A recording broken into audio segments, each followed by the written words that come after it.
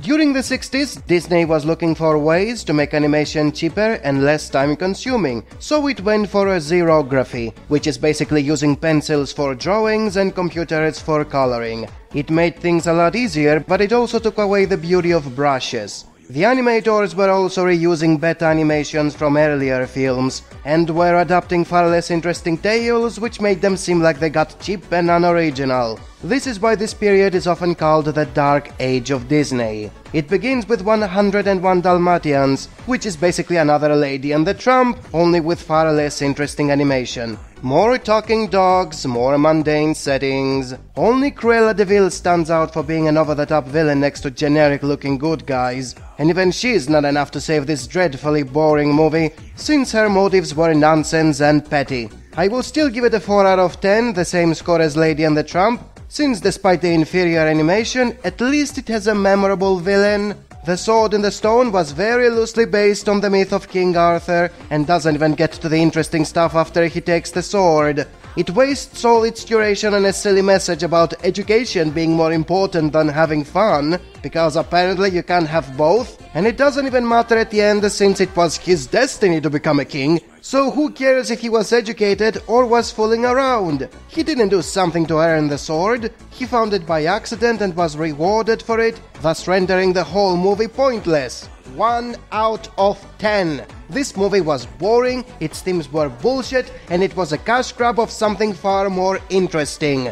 The Jungle Book was completely watered down compared to the source. The action scenes with the animals were fun, but there wasn't much in terms of a conflict. Mowgli doesn't actually struggle between staying in the jungle or going to the human village. He's just been tossed around from one animal to another. He doesn't even reach to an epiphany at the end. He just sees a pretty girl and decides to stay with the humans because he had a boner. That's as far as the message went when it came to dealing with your identity crisis. You spend your whole life in the jungle, you see a girl you know nothing about, and you drop everything you know just to go to an unfamiliar place where you are a complete stranger. What a load of crock! Almost every other adaptation of the same book is way better than this one. 2 out of 10.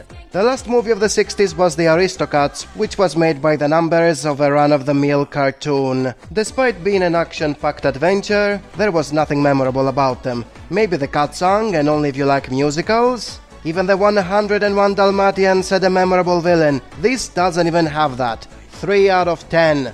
Moving to the 70s with Robin Hood, or what Disney did to Robin Hood since everyone is a talking animal. I can at least say that it's following the myth and it's not completely bullshit like the sword in the stone. Other than that, it's okay. It's not nearly as good as many live action adaptations, but as far as action adventures goes, it's watchable. But that's all it is. 6 out of 10.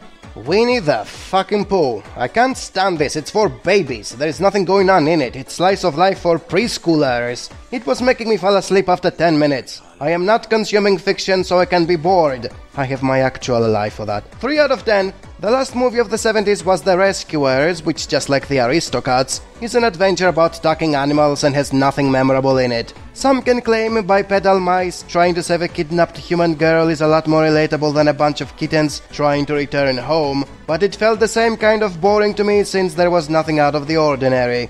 I am not consuming fiction so I can see ordinary things. I have my actual life for that. 3 out of 10. Moving to the 80s with The Fox and the Hound. Just like the Jungle Book, the premise is a conflict regarding who you are, and it's spending most of the film in the protagonist being chased around. It also doesn't go anywhere interesting with it, and it all comes down to the power of friendship. Very childish and possible, 3 out of 10.